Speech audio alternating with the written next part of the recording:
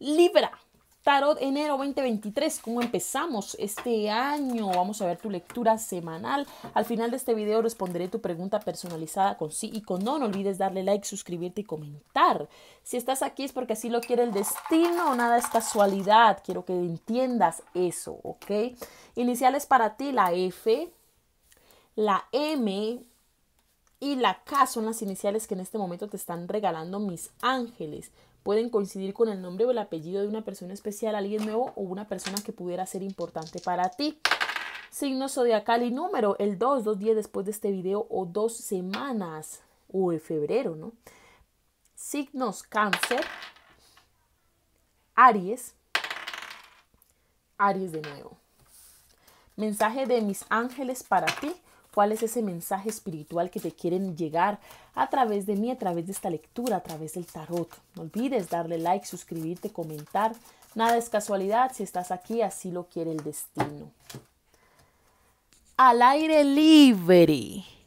Arcángel Gofiel, sal, toma aire fresco, entra en contacto con la naturaleza para liberarte del estrés y tener ideas nuevas y creativas. Sería importante que cada vez que tú te sientas estresado este año compartas con la naturaleza. Es un año donde vas a estar muy ligado a la naturaleza, Libra, muy ligado a la conexión, al aire. Tú eres signo aire, por lo tanto tienes que unirte más a tu elemento, ¿ok? Al aire libre, por eso te mandan a decir, siempre que te sientas mal, respira profundo, sal, toma aire y regresas a tu lugar. Bueno, los ángeles te están dando técnicas y tips porque es un año fuerte, es una semana sobre todo estresante, ¿no? Pensando en regresar a un lugar, pensando en eh, obligaciones que tienes, te estás estresando mucho libre y eso te puede perjudicar la salud. Mensaje general para esta semana, Consejo General de Los Ángeles, ahí está. Ya el tiempo de relajarse, de no preocuparse por nada pasó. Es momento de que empieces a planificar tus acciones para este año 2023. ¿Listo? Empieces a planificarlo, empieces ahora mismo a trabajar en ello. También me habla mucho de una sensación de tristeza, algo te genera tristeza, tu aspecto físico, un comentario que te hicieron, que te dijeron, haz caso omiso a eso. Sabes, la belleza es subjetiva y nadie tiene por qué venirte a decir aquí que no eres lindo, que no eres linda, que tienes gordo, eh, que estás gordo, que estás flaco, no. Mira, mi Padre celestial te hizo así es por una razón. Eres único, especial, no dejes que nada ni nadie te haga sentir lo contrario. No pierdas tu felicidad por comentarios de la gente, porque son gente y personas envidiosas, ¿ok? Ojo con quien te juntas porque esa energía definitivamente es una energía de envidia. Ojo, Libra, te envidian, te quieren derrotar, te quieren tumbar, quieren hacerte sentir menos cuando en realidad eres más que esas personas. Así de simple. ¿Qué te dice el tarot? Empezamos con la carta del As de Oros. Un comienzo nuevo, propósitos, metas, eh, habla también de oportunidades. Es una semana donde puedes visualizar múltiples oportunidades para ti, sobre todo en el área laboral. La carta del 6 de copas, una persona se disculpa contigo por un comentario, por algo que te hizo y esta semana va a estarte pidiendo perdón y va a estarte pidiendo una oportunidad. Es como si esta persona estuviera arrepentido o arrepentida de lo que te hizo. La carta del mago, solo los actos hablarán por las personas, las palabras se las lleva el viento, así que yo te pido que creas en los actos, más no en las palabras, libra. No seas ingenuo. A veces tú eres un signo que cree mucho en las personas y esa ingenuidad, entre comillas, te puede pesar durante este año. No debes confiar mucho en la gente.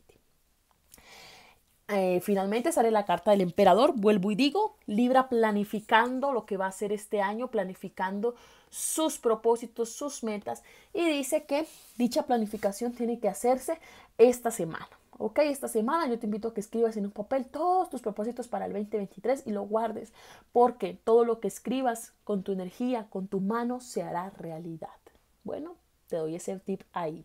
En el amor, la energía principal, 10 de espadas.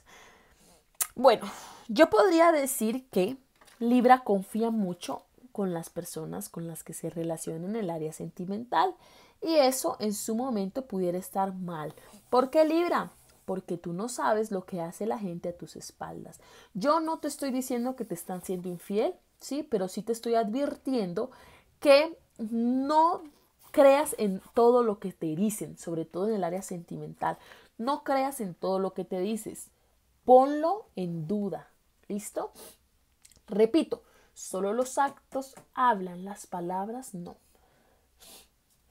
Además sale la carta del caballero de copas, alguien muy romántico, muy amoroso, muy detallista, muy pendiente de ti esta semana y dice que aproveches, aprovecha esta actitud de esta persona que te interesa tanto, acéptale esa invitación.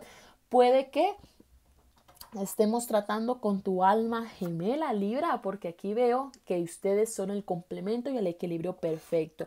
A ti te encanta el equilibrio, la carta que te representa a ti es una balanza y puedes ver que estás sobre la balanza, ¿no? ¿Qué pasa? Que yo sí te advierto que la envidia puede venir a quitar la estabilidad de esa balanza, ¿no? Así que vuelvo y te lo digo, mucho cuidado con quien tú andas y te relacionas porque son gente que no son buena. ¿Listo? Solteros y solteras, haz de copas una felicidad y una oportunidad nueva en el amor. Hay una persona que te va a estar coqueteando mucho esta semana y sus intenciones son positivas. Acepta las invitaciones que esta persona te hará, conoce a esta persona, luego determinas si le das la oportunidad o no, pero sal, aprovecha, goza, disfruta. No tengas miedo al que dirán, no te quedes allí llorando ni sufriendo por lo que no fue. La vida sigue, el tiempo pasa y es importante que tú mismo, tú misma, crees tu propio destino amoroso. La carta de la emperatriz me habla de un posible romance o relación seria que pudieras estar teniendo el primer trimestre de este año. Así que bueno, date oportunidades. No te quedes allí esperando a una persona. El tiempo no está para perderlo ni desperdiciarlo por nadie. Nadie se merece que nosotros desperdiciemos nuestro valioso tiempo esperándole, ¿ok? Los que ya salen, se ven, charlan, tienen un casi algo. Veo mucha organización, veo que es una conexión bastante organizada, veo que es una conexión serena, tranquila, realista, donde se busca la tranquilidad y la paz mutua. Y eso es lo que debería aportarnos una persona realmente, ¿no? Paz, tranquilidad, armonía. Hay una pequeña dificultad durante esta semana, un pequeño disgusto, ¿sí?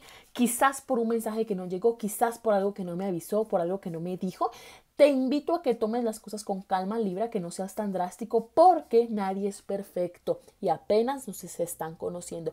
Los seres humanos somos un mundo infinito de situaciones, emociones y acciones, ¿sí? Que nunca terminaremos de conocer. Así que yo te invito a que te pongas en los zapatos del otro y que eh, trates de comprender el porqué de sus acciones. Caballero de Oros, ahí estará esta persona dándote una explicación o dándote un ofrecimiento, ya dependerá de ti si lo tomas o no, pero veo una situación de enojo aquí, ¿no? Ojo, con calma, tranquilos. No es tan grave. Listo. Las parejas, la carta del rey de báculos, direccionando mucho la relación, pensando mucho a futuro. Las cosas serán rápidas. Veo posibles avances en las relaciones. La muerte, la muerte habla de ciclos, ¿no? Es importante ya cerrar un ciclo en esta relación un tema que ya aburre, ya cansa, una persona que ya deja de nombrarla, ya es bueno dejar de nombrar a esa persona en esta relación, ya es bueno dejar atrás lo que pasó, el pasado tiene que quedarse allá, ustedes tienen que marcar un nuevo comienzo en su vida sentimental, no traer a colisión cosas del pasado porque eso lo único que muestra es tu inseguridad. Libra en una relación, si se perdona, se cierra el tema y listo. Les invito a fluir bajo la tranquilidad, bajo la paz, les invito en la a buscar su paz interior y su paz amorosa a ambos, ¿ok? Exes, la carta del rey de espadas, una persona con rabia y con rencor. Alguien te tiene rabia, rencor en este momento es algo que está intentando sanar, pero no lo ha podido sanar del todo. Así que tienes que tener mucho cuidado, sobre todo si trabajas cerca de esta persona, porque veo una actitud de venganza hacia ti. La carta de la justicia, sin embargo, Dios siempre te respalda, los ángeles siempre están contigo, eres un ser muy devoto, eres un ser con mucha fe. Por eso la justicia te acompaña en la carta tuya, la carta que te representa en el tarot, pero te advierto que una expareja viene con sed de venganza hacia ti, así que tienes que tener mucha protección y muchísimo cuidado sobre todo esta semana. Respondo tu pregunta personal con sí o con no. Vamos a ver cuál es la respuesta que ahorita mismo tiene para ti. No olvides darle like, suscribirte y comentar. Estaré yo muy pendiente y muy atenta acá abajo a los comentarios. Tu respuesta estará en 5, 4, 3, 2, 1. Tu respuesta es un sí. Te veo la próxima semana con más predicciones. Chao, chao.